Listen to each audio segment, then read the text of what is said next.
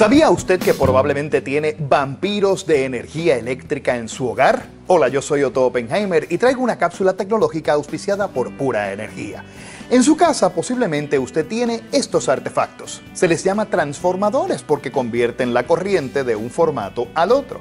Sin embargo, dejar esos transformadores conectados en su hogar puede robarle energía eléctrica. Aunque usted no se dé cuenta, estos pequeños artefactos van alando pequeñas cantidades de energía, pero cuando tiene muchos de ellos conectados alrededor de su hogar, pueden consumir una cantidad importante. Además, siempre es más seguro no tenerlos conectados.